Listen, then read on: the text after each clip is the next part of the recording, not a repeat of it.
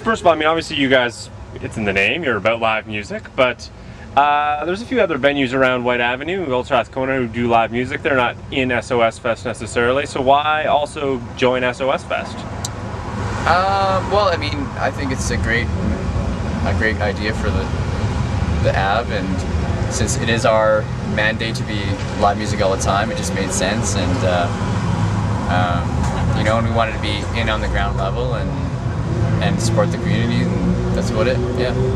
Yeah, and I mean, so for you guys, third, fourth day, people are receptive to the live music, the live venue.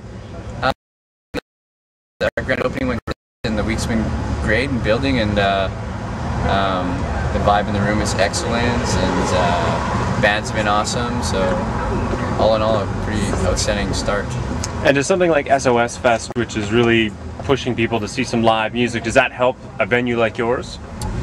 Um, yeah, I think so people to Whyte again for live music. Basically uh, for that kind of thing over the last maybe five to yeah probably about the last five years. It seemed to be uh, a destination for people wanting to see live music, and now it's sort of spread out other parts of the city, or or even just you know died completely because some of the our favorite venues in town have closed over the last you know 10 years, and they haven't been replaced by anything.